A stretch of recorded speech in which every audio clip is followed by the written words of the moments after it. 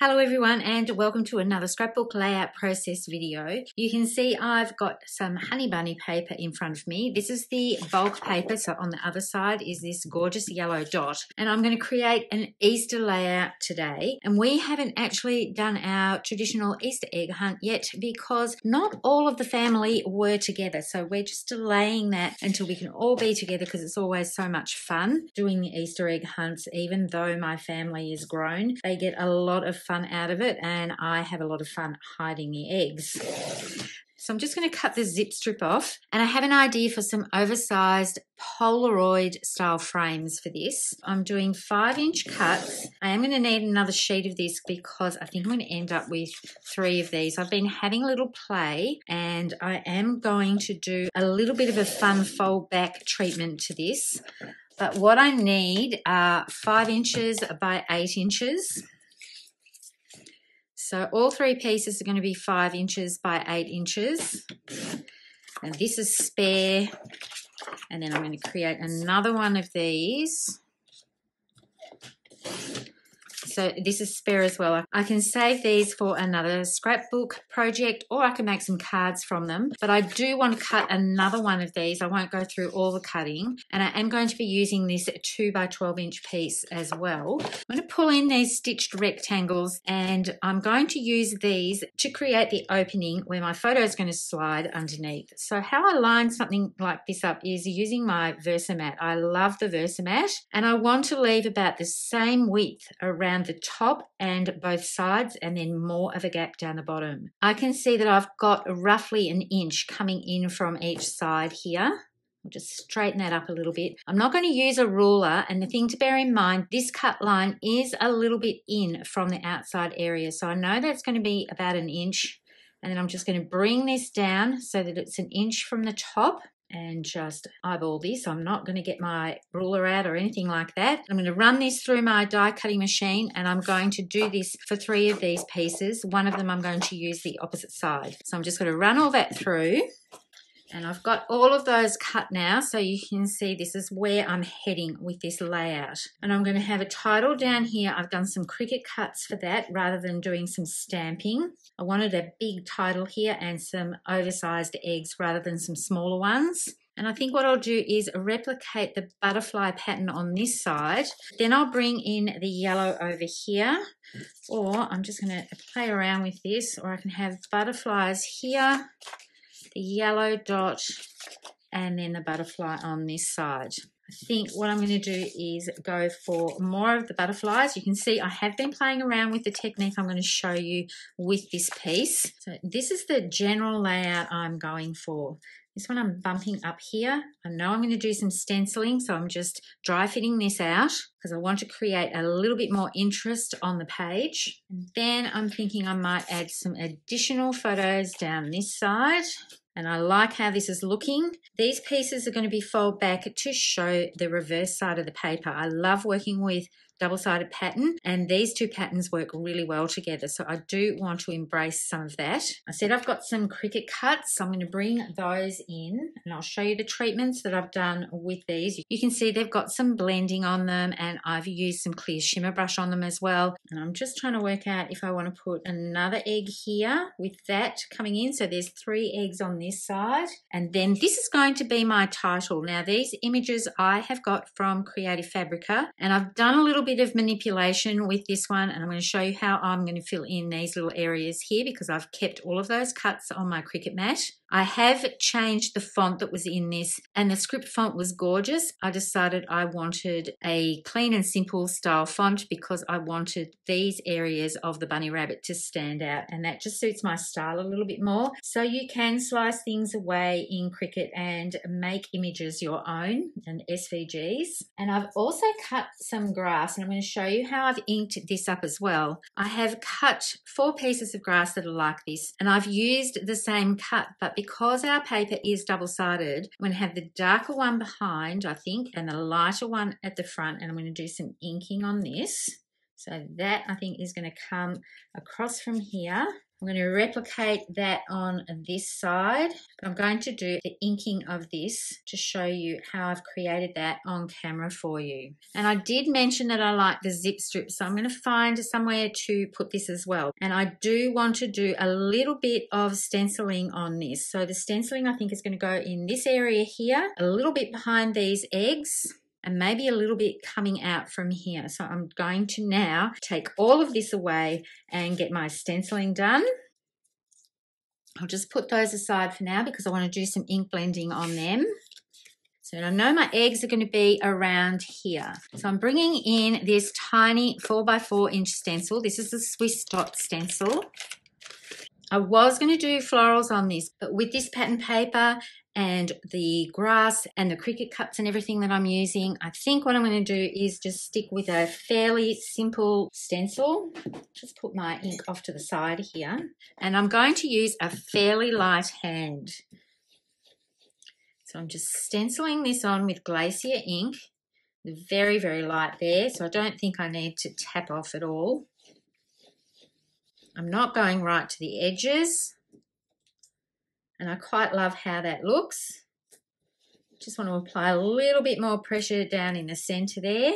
While that's in place, I'm going to bring back these three eggs and just lay them out across here to make sure I've got enough of that stencil coming out. So I think I need to extend that a little bit. So let's see if I can line up these dots bit trickier when you're using a very light colour ink. I think I've got that in about the right place. It won't matter if it's a little bit too off. I don't need it to be totally perfect. In fact, I quite like how it's sort of not in a perfect circle.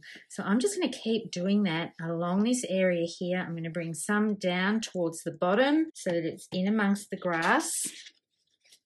I'm going to bring some over onto this side as well because my strip is going to go down, but I'm going to have a little bit of white showing. So I want to bring this across all the area of where those Easter eggs are going to sit.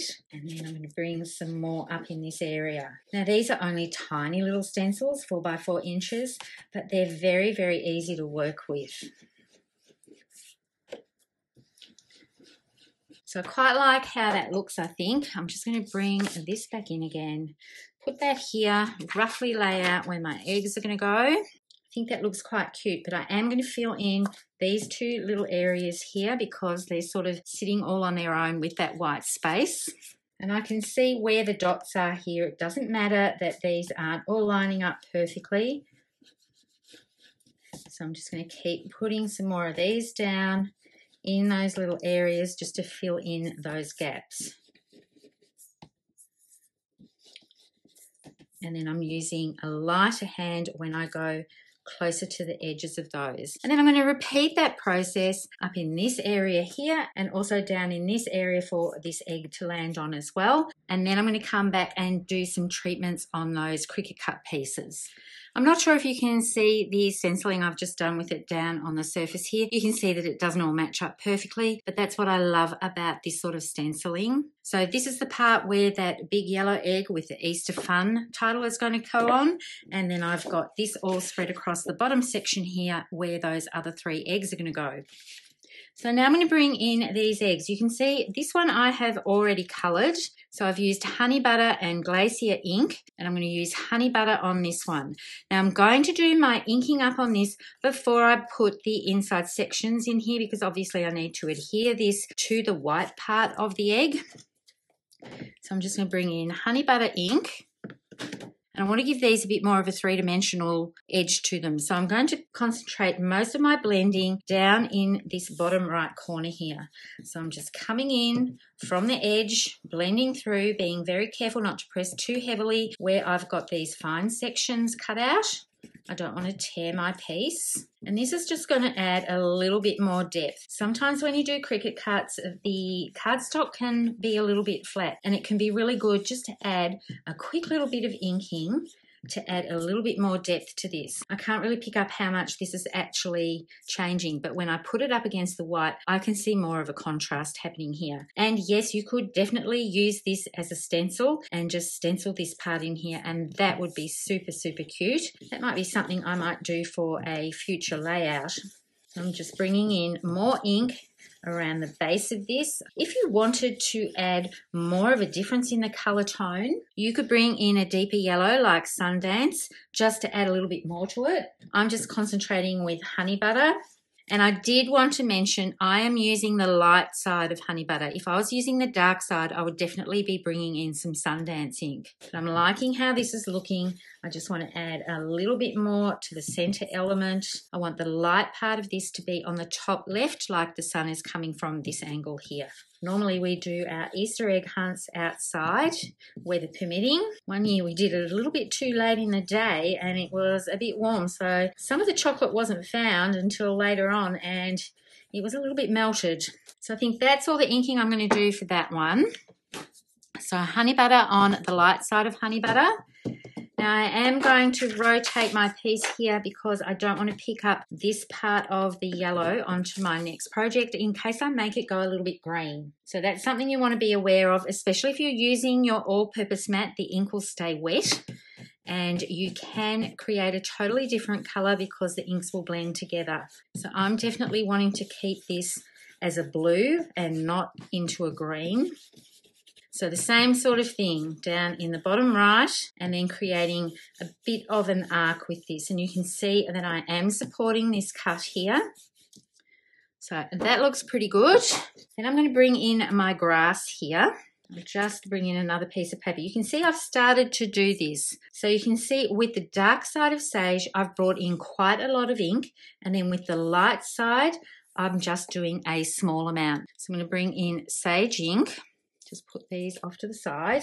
And I'm bringing this just off the edge. With the dark side of sage, I went more up into the blades of grass and left the tops of them fairly clear in most part of any inking at all. So I'm just going to go, keep going down the length of this strip. So that's all I'm doing for the light side of sage. And then I'm going to lay all of these pieces out and bring out my shimmer brush because I do want to add a bit of sparkle to these to match these ones here. Just going to cover my work with these pieces. I'm using my clear shimmer brush. Give it a good shake. And I'm going to squeeze. They've got a little push area here. And then all I need to do is splatter my pieces it does go quite a way. If you're more comfortable with using a splatter box, that would stop it all going everywhere, but it does wipe off quite easily. It's not like a regular paint. So I'm just continuing on. You can really see it on this honey butter piece and the glacier piece here, how the sparkle is picking up. So I just need to set this aside to dry a little bit before I adhere it to the base of my egg, but that's just going to create a little bit of fun to these pieces. So I just need to clear this up and then I'm going to come back with the folding and assembly of my page. I won't take you through the whole assembly, but I want to show you how I'm constructing these folded edges. I've adhered this piece together as you can see and when I did the Cricut cut I kept this on my mat because there are several small pieces here that I want to inlay into these sections. So I didn't want to lose them. So what I find is sometimes it's easier to keep things on a mat and you can see that this has been reversed. So I've mirrored it so that any little white tick marks will be on the reverse side and I've made sure that I've put this with the light shade down. So when I take this off the mat, I can easily just reverse it. I'm going to get out my glue here and just put a little bit of this on. I don't need terribly much. And then I will be able to inlay this so that a little bit of the white outline comes around. When I saw this image on Creative Fabrica, I knew that I wanted to cut it out, but it was basically this image here. So I brought the image into Design Space and then I found an Easter egg shape from my previously purchased Close to My Heart collections. I put that on there and I centered them together and sized it to the size that I wanted for my layout. And then I sliced this bunny with the Easter fun image away from my egg so that I got that overlay piece. And I do have a video on how I do that sort of thing in Design Space. So I will link that below. So what I'm doing now is taking the outline of these little bunny paws to use as a guide to place the inside sections on. The only thing I have to remember is that when I pick this up that I'm using the light side and then I can inlay these straight in now, I don't necessarily have to use this as a guide. It is fairly easy just to work out where to put those little pads for the paws. Then this piece will just fit straight into here. So here's my gorgeous little Easter Bunny title, all done. I love how putting the inlaid pieces in has added the finishing touches to that title. I'm going to adhere this large photo mat to my layout, but I'm only going to put adhesive on this bottom part here when I can find my tape runner. There it is, buried. And I'm going to put quite a bit of tape on here because I want it to stay flat. When I print my photos, I need to be able to slide it underneath this Polaroid frame. I could put it on top if I wanted to, it's not quite an exact three by four inch opening. As you can see, there's room at the top and the bottom. That's because of the thin cut that I used. You don't have to do this step at all. It's just that I want to have some up from the page and I'll be using quite a bit of 3D foam tape on those. But you could eliminate cutting this panel out and just putting your photos directly on top of this five by eight inch piece of paper. I'm going to use my T-ruler for this so that I get everything lined up. I'm just going to take my a little Easter egg away and leave it off to the side because I do want to make sure that part of this goes over the top of this frame. So I'm just using my T-ruler. I think I'll come in about one and a half inches and one inch down and that one's going direct onto page and I'll be able to pull this back and put my photo in later. This is the one I'm going to do the treatment to and bend the corner over. So I'm just bending it over slightly and just doing a little bit of a burnish. I'm not pressing all the way down and then I'm going to bring in my foam tape and cut a section and I'm putting this directly uh, up against where I did that little bit of fold line. I don't want this to be totally flat. I do want this to be a little bit raised rather than folding it straight over. So I'm going to take away the adhesive. Then I'll just move this out of the way. I'm going to put a little bit of dot roller over this part and then gently put this down so that one section of this will adhere to the foam tape uh, under four, I press too heavily. Oh, thankfully. I'm going to make sure that I've got this straight. I didn't have it quite straight with these little dots here. So that is going to go over this section here. And I'm going to pop this one on foam tape. Now I've run out of the CTMH foam tape. So I'm just using this Xpress It roll that I've got here. I'm going to be very generous with this. I'm going to put some right up against the edge here, but I'm not going to be peeling this bit off because I know I need to put my photo underneath.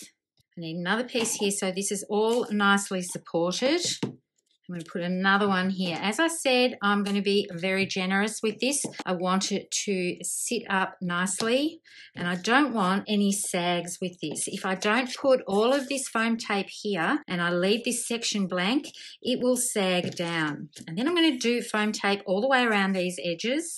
And I think I'll even put a little piece, I'll put a piece here, that will do, in this section. So when I put this down onto my page, that's all nicely popped up and secure. If you don't want to use this much foam tape, you can just adhere it direct to page. But I just want to show you what happens when you slide a photo underneath here. You're going to get shadow from this raised part and that's the look I'm trying to achieve. The other thing that you could do if you don't have a lot of foam tape is build this up with strips of cardstock. I've done that before when I've run out of foam tape. So I've just cut a whole heap of white daisy strips about half an inch or a quarter of an inch wide and then stacked them up about four to six pieces high and use them like a piece of foam tape. You can see I've only removed the carrier strip piece from this lower section because I want to be able to get my photo underneath.